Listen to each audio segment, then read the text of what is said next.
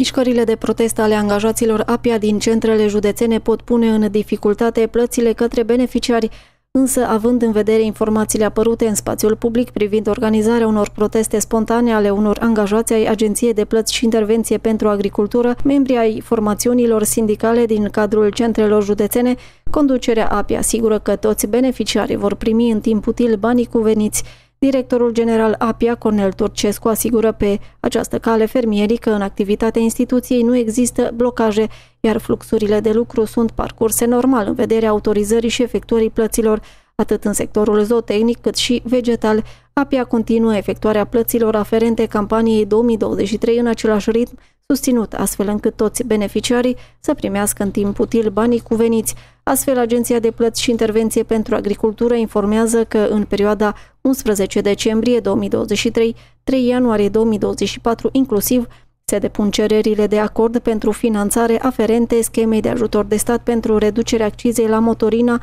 utilizată în agricultură pentru anul 2024, astfel la centrele județene ale Apia sau al municipiului București, pe raza cărora sunt situate exploatațiile agricole pentru care se solicită ajutorul de stat sau unde au fost depuse cereri de plată pentru schemele de sprijin pe suprafață. Cererea de acord prealabil se depune însoțită de următoarele documente. Copia documentelor de identitate și a documentelor de înregistrare, adeverință eliberată de primărie cu suprafețele agricole aflate în exploatare, inclusiv pentru spații protejate, cu efectivele de animale, păsări, familii de albine, viermi de mătase, după caz, adeverință eliberată de către Oficiul Național al Viei și al produselor vitivinicole pentru suprafețe cu vie, după caz, situația suprafețelor și a structurii estimative a culturilor pentru care solicită ajutorul de stat și sau producția de ciupeci estimată, copia documentului care atestă înregistrarea, autorizarea sanitar-veterinară pentru porci, păsări, familii de albine, viermi de mătase, după caz,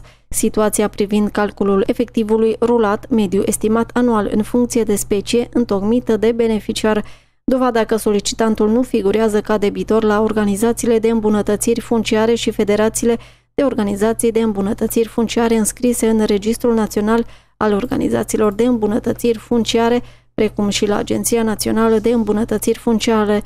furnizorul de apă și de electricitate după caz, copie de pe contractul de irigații, furnizarea apei după caz, cantitățile de motorină pentru care se solicită ajutorul de stat sub formă de rambursare pentru sectorul îmbunătățiri funciare, angajamentul solicitantului, persoană fizică cu privire la autorizarea ca persoană fizică autorizată sau întreprindere individuală conform Ordonanței de urgență guvernamentală numărul 44 din 2008 cu modificările și completările ulterioare conform modelului anexa 5 din ordin. Acordul prealabil pentru finanțare prin rambursare se emite de către centrele APIA în termen de cel mult 20 de zile lucrătoare de la data depunerii cererii de acord.